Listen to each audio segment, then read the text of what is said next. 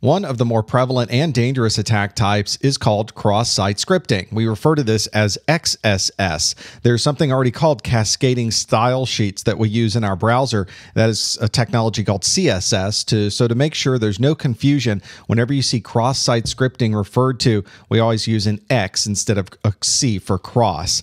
This is a word or a term that was originally created because older browsers would allow information from one browser window to interact interact with the other browser window. And if those were on different sites, you could essentially take information from one website or what you were inputting on one website and send it to another. And if the bad guy could hide one of those browser screens and grab your username and password and send it to another site, well, obviously that is a security problem. These days, our browsers are much smarter than that. They've been programmed so that they will not allow a lot of cross site communication. The bad guys are always trying to find ways to go about doing this, but we have generically called now this methodology of scripting information and sending it somewhere else.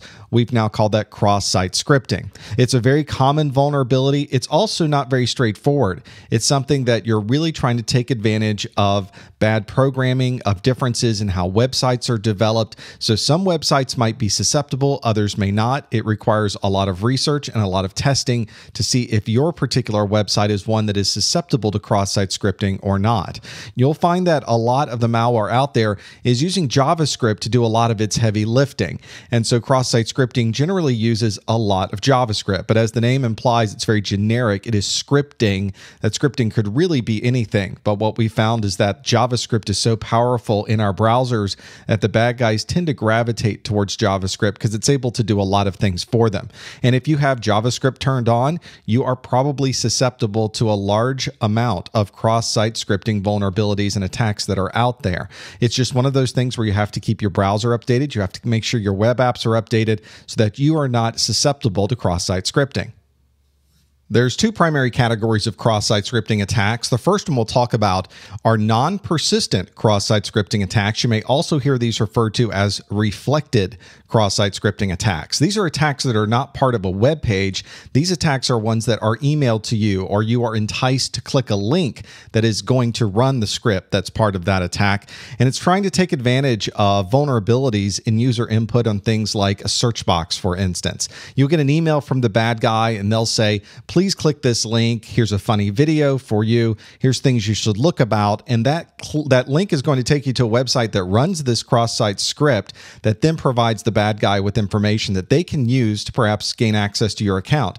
So they'll have you log in to Facebook, they'll have you log into your financial account, and it's going to then behind the scenes send your credentials or your session IDs or some user information back to the bad guy. And then, of course, from their desk, they now have access to your account. They can do whatever you'd like like. This is executing in the victim's browser. So they're essentially going to a website, and it's the browser that is now becoming the problem for us. It's running exactly the script the bad guy gave us, and the browser's happily handing off our credentials to someone else. That's not exactly what we'd like to have happen. When the bad guy has your session IDs, your cookies, some of that really important session information that they can use to get into your account, they can now do a lot of things. And you have no idea that this happened. It all happened behind behind the scenes because that script told it to grab that session ID, send it off to the bad guy, and now they have access to your information.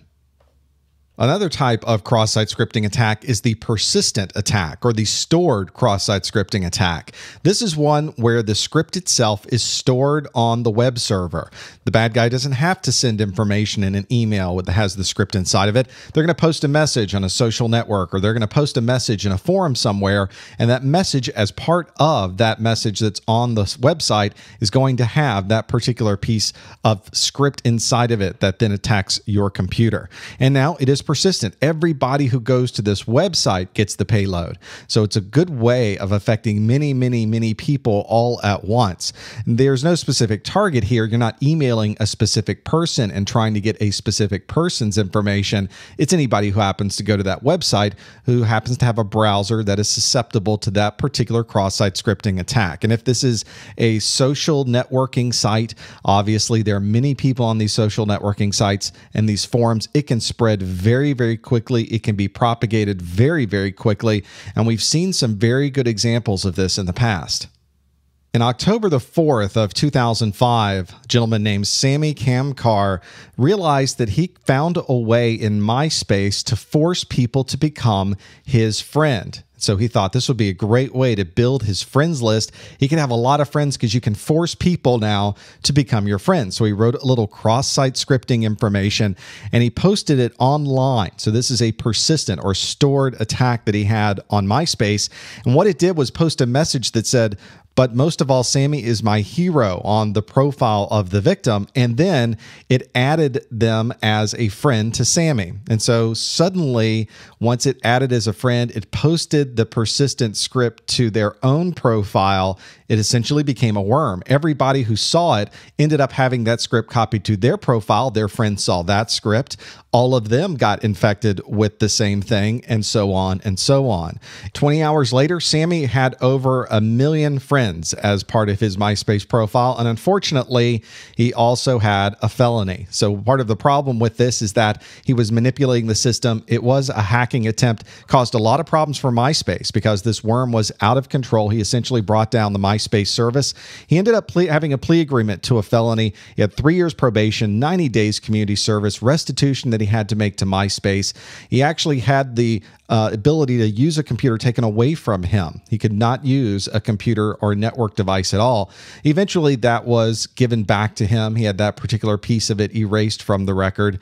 And now he is a security researcher. You can go out to YouTube, you can see some of the things he's done with entrepreneurship. So now Samy is making our networks safer and using this knowledge that unfortunately got out on MySpace. He's now using it for the greater good. Let's look at a practical example of how somebody could use this cross-site scripting capability to gain information they would normally not have access to. Let's take this example right in front of us. This is something called WebGoat. This is from OWASP. This is the Open Web Application Security Project. You can go out to www.owasp.org and you can download this, this very vulnerable web front end called WebGoat. It's a series of examples of how you can try to take advantage of some of these flaws. It's essentially a badly programmed website, and you can test and see how some of these vulnerabilities are affected on a website and try some different things yourself. So let's try a, a cross site scripting problem ourselves. Let's say that we are an employee. Let's say that we are, if I look at this uh, HR department application, let's say that I am Tom Cat and I'm going to log in with my credentials. And in my credentials, if I scroll down a bit here, you can see that I have the ability to look at my profile and I can my profile for HR has my name, has my street address, has other information inside of it. But I want to gain access to everybody's profile. And I know that the person in charge of the HR department does have access to everybody's profile. And inside your profile, you can see what people's salary, what they make, you can get credit card information. So having that particular HR account might gain us information that we normally would not have access to and probably shouldn't have access to.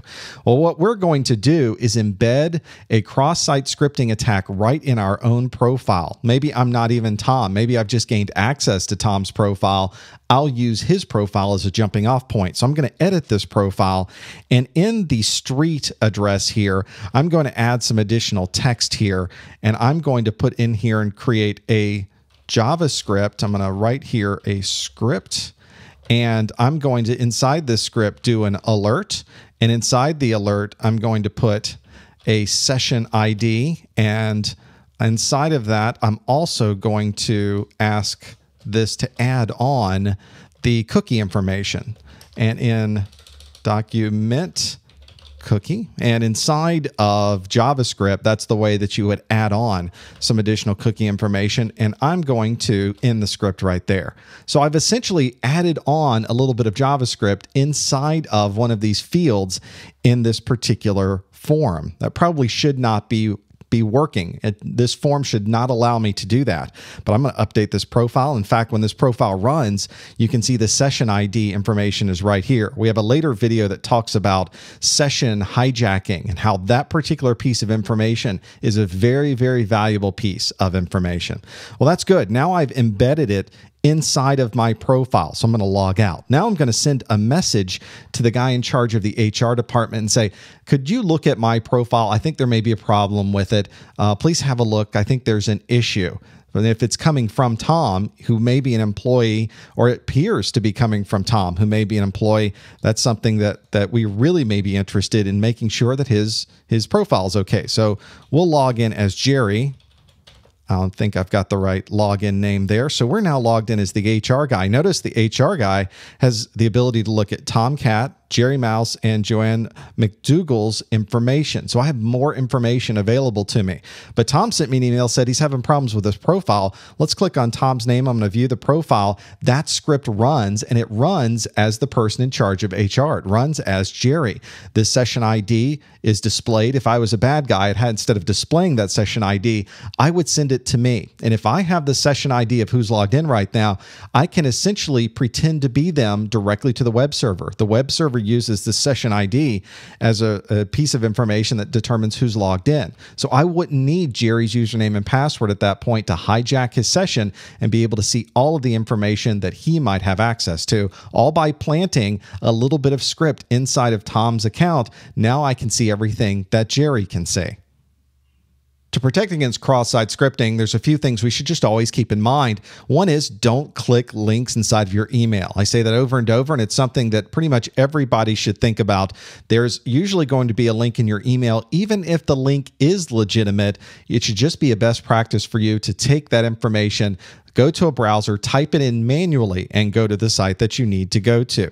You might want to also consider disabling JavaScript or having it only run on certain sites that you might trust. There's usually extensions or add ons you can get for browsers that would allow you to do that on a per page basis or per site basis. You should also make sure that your browser is updated. If you're in charge of a web server, in charge of applications on that web server, you need to also make sure that all of those applications are up to date because manufacturers and developers will find new play new ways that people are taking advantage of these scripts and they'll patch them. So by having the latest version of that on your web server, you might be able to avoid it. If that HR department had the latest version of that HR software, it may have already stripped out any of that scripting and they wouldn't be susceptible to that problem. By keeping your web apps up to date and keeping your browser up to date and the applications and operating system on your computer, you can be assured that at least those known cross-site scripting attacks are ones that you can prevent and make sure that nobody takes advantage of your browser.